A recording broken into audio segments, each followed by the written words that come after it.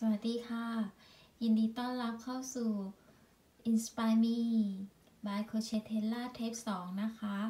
สำหรับเพื่อนๆที่อยากทำเสื้อตัวนี้ หนิงได้ลองแกะแพทดูแล้วนะ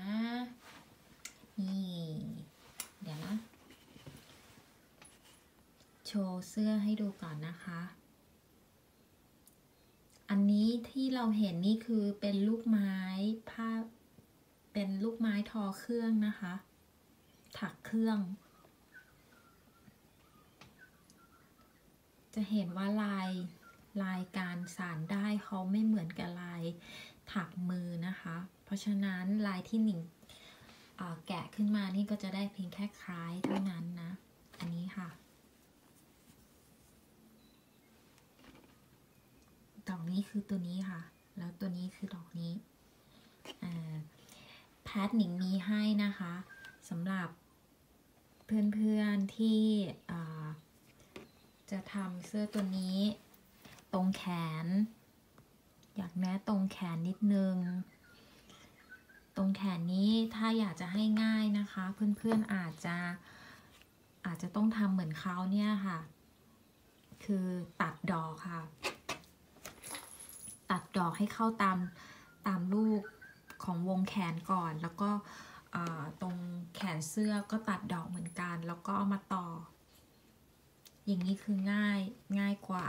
ง่ายกว่าเอาเข้าดอกเข้าเหลี่ยมเข้ามุมดอกนะคะก็คงต้องปรับโครงสร้างดอกใช้วิธีผ่าดอกตัดดอกแบบนี้ค่ะ ครึ่งหนึ่งนะคะตัวนี้ไม่ต้องขยายดอกนะคะ เพราะว่าทรงเสื้อเป็นเสื้อตัวตรงๆ ไม่ได้เข้ารูปเนาะจะมียากก็เพียงแค่ตรงแขนนะคะ แขนเสื้อ เป็นแขนตุ๊กตา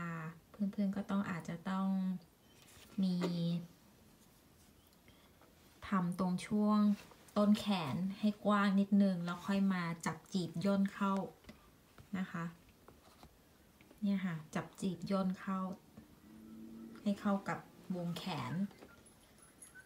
มีเท่านี้ที่จะแนะนำเพราะว่าส่วนที่ยากของเขามันมีเพียงแค่นี้นะคะ ส่วนตรงคอก็ใช้วิธีตัดดอกเหมือนกันค่ะ งานนี้ไม่มีขยายดอกนะคะ มีแต่ปรับโครงสร้างดอก คือตัดดอก ครึ่งหนึ่งหรือ